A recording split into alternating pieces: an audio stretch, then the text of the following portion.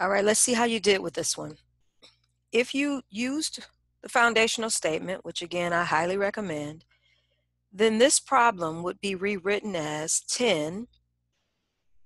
And let me rewrite it this way first so we can see what happened.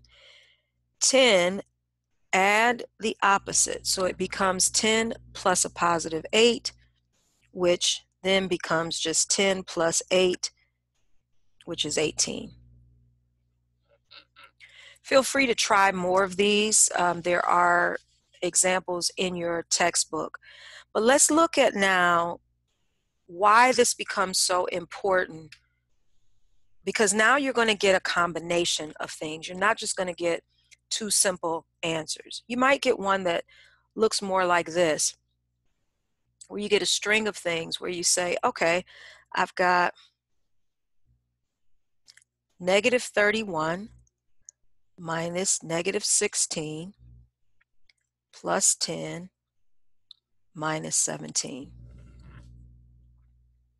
So just like with addition, we would add these two at a time.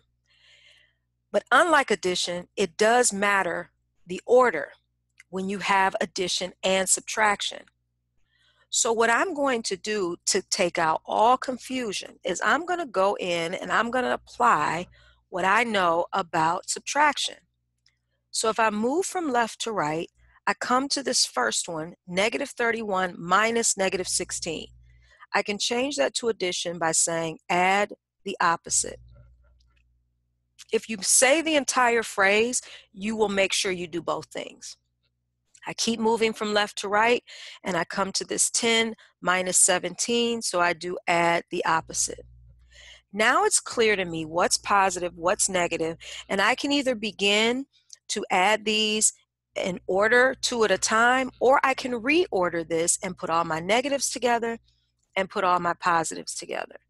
So just for argument's sake, I'm going to put my negatives together. So I got negative 31 plus negative 17.